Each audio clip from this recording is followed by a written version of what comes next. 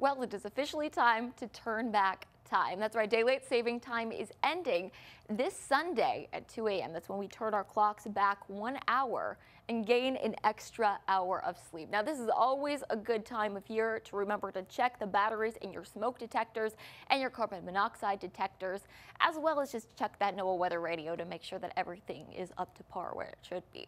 Now, I know we're all looking forward to that extra hour of sleep, but not all of us are looking forward to the earlier sunset times. Now, on the first day of daylight saving time, the sunset is moving into the 5 o'clock hour. That's coming in right around 5.30 for Tyler. Things are getting earlier and earlier as we get to the end of the year. We won't have the sunset move into the 6 o'clock hour until the beginning of next year. So we have a little while to wait on that. Now, daylight saving time is been in the United States on and off since World War I. It was first implemented back during World War I to save on energy costs. However, as the war ended, it was repealed. On to World War II, they brought back daylight saving time again, and once again it was to conserve fuel. Often, instead of calling it daylight saving time, they refer to it as wartime because it happened during the World Wars. Once again, after the war ended, they repealed it nationally. Fast forward to 1966, when Congress passed the Uniform Time Act.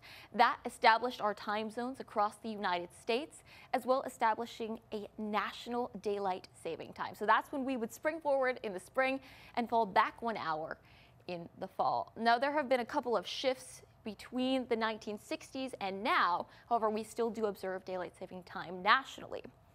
However, there have been attempts to make it a permanent thing, so we would spring forward and simply never fall back. Those would be called the Sunshine Protection Acts. None of these have been passed. They've been introduced several times in the late 2010s and the early 2020s, uh, but they have never really made it into law. They often stall in the Senate or in the House. So we will be turning back the clocks this Sunday, unless of course you live in Arizona or in Hawaii. Those are the two states that do not observe daylight saving time. The exception to this in Arizona is a portion of the Northeast where the Navajo Nation lies. That's where they still do observe this time change.